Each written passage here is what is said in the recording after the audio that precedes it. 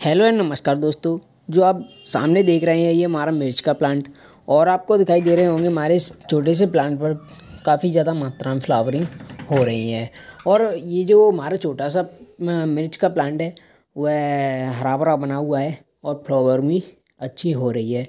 इस तरह से आप भी अपने प्लांट पर पाना चाहते हो अधिक से अधिक हम्म, मिर्चें एंड हरा भरा बनाना चाहते हो अपने प्लांट को तो ये वीडियो आपके लिए बहुत इम्पोर्टेंट होने वाली है, जिसमें हम आपको इसके कुछ केयर के बारे में बताएँगे एंड इसमें कुछ ऑर्गेनिक फर्टिलाइज़र का यूज़ कैसे करना है, इसकी भी जानकारी देने वाले इस वीडियो में।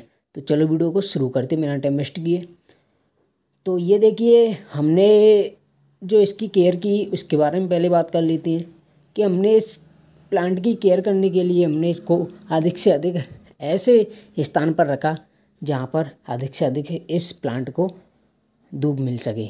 जिससे क्या होता है कि मतलब जो ये हमारा प्लांट है, वो अधिक से अधिक फ्लावरिंग देता रहता है एंड अधिक से अधिक विकसित होता रहता है। प्रोग्रेस भी अच्छे से चलती रहती है इस प्लांट की। एंड वाटरिंग की बात करें तो वाटरिंग हमें समय समय पर ही देनी चाहिए। ऐसा नहीं करनी चाहिए कि हमें पर डे पानी है। एक दो दिन बाद देते रहना है। और अब हम बताते हैं आपको इसके पर्लर के बारे में।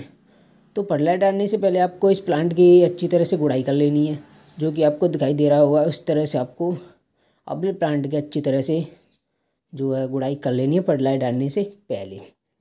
तो ये देखिए, हमारे जो प्लांट की सॉइल है, वो इसमें कुछ नमी बनी हुई है। इसी तरह से आपको भी अपने प्लांट में नमी बनाए रखनी है। और अब हम आपको बताएँ कि अब गुड़ाई करने के बाद आपको क्या करना है? इसमें ऑर्गेनिक एक फर्टिलाइज़र है। जो आपको मेरे हाथ में दिखाई दे रहा होगा। ये हमारा देसी गोबर का खाद।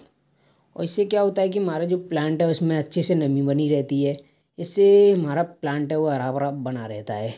इसको हम अपने प्लांट में अच्छी तरह से मिक्स कर लेते हैं। तो ये देखिए थोड़ा सा और भी डाल लेते हैं। तो इस तरह से हमने इस खाद को अपने प्लांट की सॉइल में अच्छे से मिक्स कर लिया है। इसके बाद हम डालेंगे अपने प्लांट में ऑर्गेनिक फर्टिलाइज़र जो आपको सामने दिखाई दे रहा होगा। यह हमारा बनाना पिल फर्टिलाइज़र। बनाना पिल फर्टिलाइज़र से क्या होता है कि हमारा जो प्लांट है, वो अच्छे से फ्लावरिंग देता रहता है। इसीलिए हम इसमें अपने बनाना पिल फर्टिलाइज़र का यूज़ कर रहे हैं। तो ये हो गई हमारे हमारे प्लांट के लिए कुछ केयर एंड कुछ ऑर्गेनिक फर्टिलाइज़र। तो उम्मीद आपको ये वीडियो पसंद आई होगी। अगर आपको वीडियो पसंद आई हो तो वीडियो को लाइक कीजिए।